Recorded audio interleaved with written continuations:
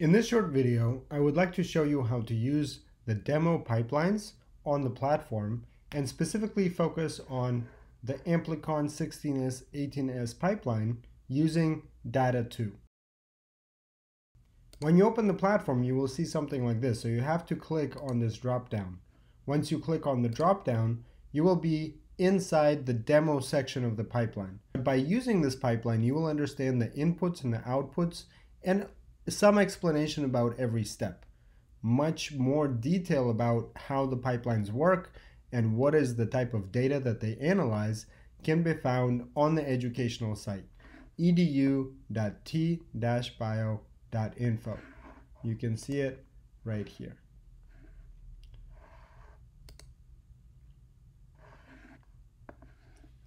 So let's go back and we'll start this pipeline. You first click on the start button and here you can see the input files. For the input files, we will use an SVL, which is a server reference file that will show where the path to the file is on our high performance cluster. You will also see this TXT table. Now if you open this table, you will be able to see that the table contains some information about the samples. In this case, we are going to use six different samples and some have chow, which is a regular diet, and high fat diet. And these are mouse microbiome fecal samples. F here stands for fecal. Now also there's some explanation here about the context. How is the data generated, the hypervariable regions, and also the taxonomy of the different microbial communities that are going to be found in some of these samples.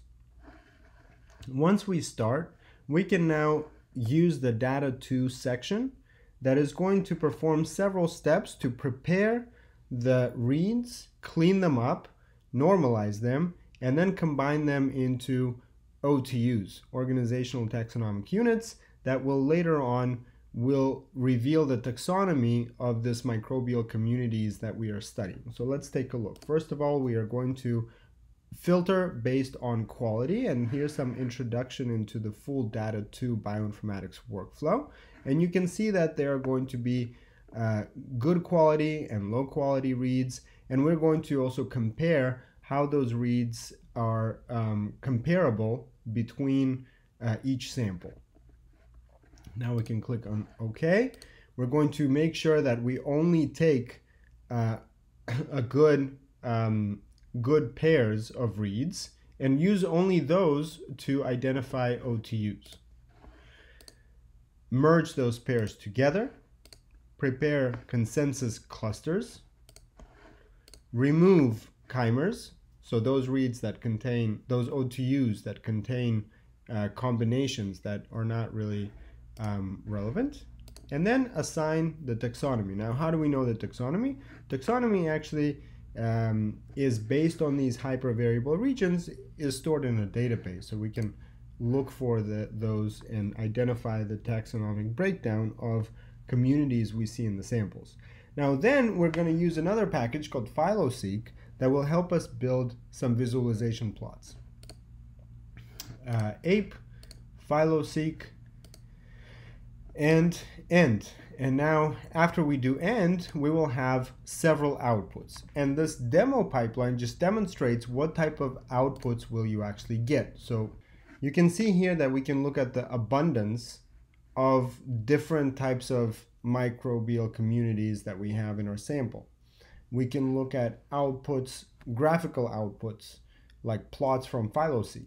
And we can also get sequences of OTUs. Let's take a look at the PhyloSeq plots. PhyloSeq plots are divided into two main sections, the alpha diversity and the beta diversity that you can see down towards the bottom. In the alpha diversity, we can take a look at logarithmic scale of abundance and compare that abundance between samples by family, an option that you can select when you are building the pipeline when you are not using the demo pipeline.